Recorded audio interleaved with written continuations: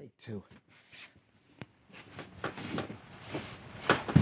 I'm going to take a quick minute here to talk about recirculating showers.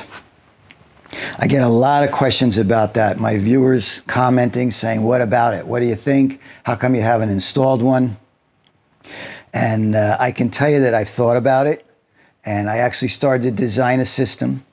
And if I were ever to do a recirculating shower, I've got an idea in mind that's a little bit of a different twist on what's typically being done. Uh, and it was not an original idea of mine, but I digress. Uh, in my opinion, all of this is my opinion. The day to day use of a recirculating shower is disgusting. Now, let me explain. Not day to day, but here's my, here's my take on it. You've got, say, three to five gallons of water, and you circulate it through a series of filters and possibly a UV light, right? That's how you take your shower. Nice. Periodically, you've got to clean or change those filters. Okay, they're canister filters, cartridge filters, sediment filters, whatever the case may be. Water flows in through the filter out to the next canister. You know what I'm talking about. I had a whole house filtration system in our last house. I installed it. And uh, oh, we thought it was the greatest thing since sliced bread. Look at that. We got clean water. I don't feel any grit. Oh, we're living large. Then the water pressure started to drop. Wow, what's going on? filters were full, they were clogged. So now I got to go clean the filters or change them out.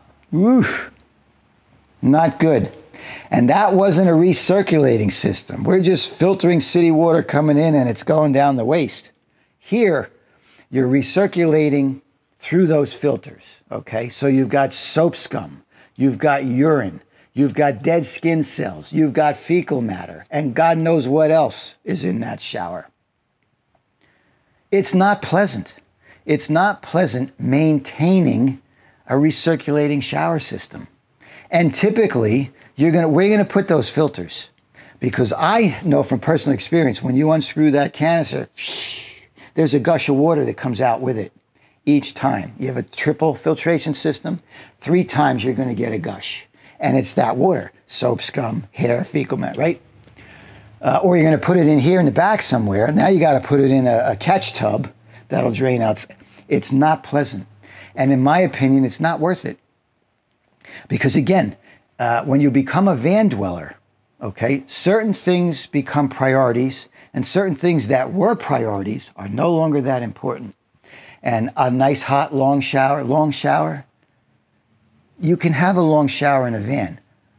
Go to Planet Fitness go plug in at a, a campground because periodically you've got to plug into a campground anyway. You just want to chill for a while, you want to do some laundry, whatever the case may be, plug in.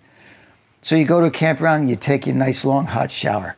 In the van, you're better off looking at it as a convenience. Yeah, I can get a quick shower and I can get cleaned up and feel great. You got plenty of hot water. We've already covered that.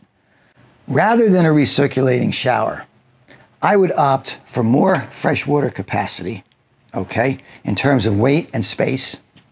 Uh, and then take my showers at the Planet Fitness or at a campground, a friend's house, whatever the case may be.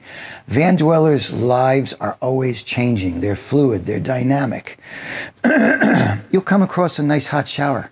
You will. But to put it in the van and have to deal with those filters, just my opinion.